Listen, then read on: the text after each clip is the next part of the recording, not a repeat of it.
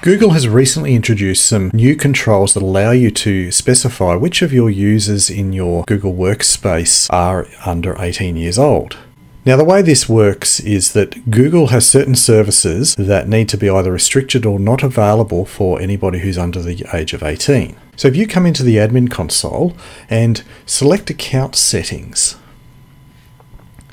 and then under profile, you'll see that there's an option here to specify your organisation type. Now that's going to be either primary, secondary or higher education. And the way it works is that primary and secondary education is assumed to have users under the age of 18 unless you specify otherwise.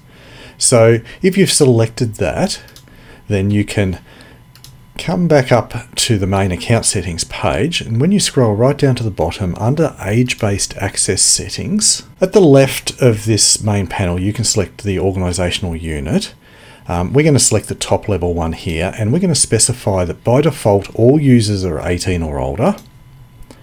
We'll save that. And now we'll come and find the organizational units for our students who are under 18 so we've got them all here underneath this student's organisational unit. So select that and change it so that it says that some or all users are under 18 years of age. Click override to override the inherited setting. And now we're all done.